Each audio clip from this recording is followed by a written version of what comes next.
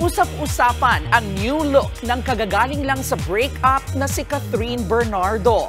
Sa kanyang Instagram, looking fresh, yet fierce si Catherine sa kanyang orange wavy hair. Ang kanya pangang caption, I hope Santa still recognizes me with orange hair. Agad naman niyang pinusuan ng kanyang mga kaibigan at fans. Ito ang kanyang latest update matapos niyang kumpirmahin ang hiwalayan nila ng longtime boyfriend and love team na si Daniel Padilla. Mga kapatid, ito po ang inyong K-Alaman Queen, Kalad Karen. Always remember na ang K-Alaman ay K-Yamanan. Kaya para sa latest showbiz news at dagdag impormasyon, mag-follow at mag-subscribe sa social media pages ng News 5. K? Okay.